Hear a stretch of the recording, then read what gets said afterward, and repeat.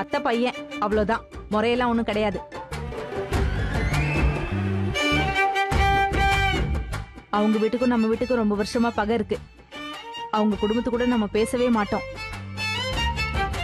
அவன் எப்ப பாரு நம்ம கிட்ட வந்து சொத்தை கொடுங்க சொத்த கொடுங்கன்னு சண்டை போட்டுட்டே இருப்பான். உன் அப்பாவையும் அண்ணனையும் டென்ஷன் பண்ணிக்கிட்டே இருப்பான். ஒரு தடவை அவங்க ரெண்டு பேர் மேலயும் கையை கூட வச்சிருக்கான். தெரியுமா?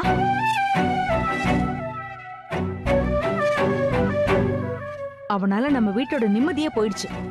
மார்க்கெட்ல மாமூல் வாங்குற அளவுக்கு பெரிய ரவுடி. பிச்சைக்காரங்கிட்ட கூட பணத்தை பிடுங்கிட்டு தான் விடுவான். இப்படி போட்டு விடுறீங்களே அத்தை. அவன் வாயால பேசுறவன் இல்ல மீனாட்சி. கத்தி அருவா கடப்பார இதுலதான் பேசுவான். அவன் மேல ரெண்டு மூணு கொலை கேஸ் கூட இருக்குன்னா பாத்துக்கோ ஏன்?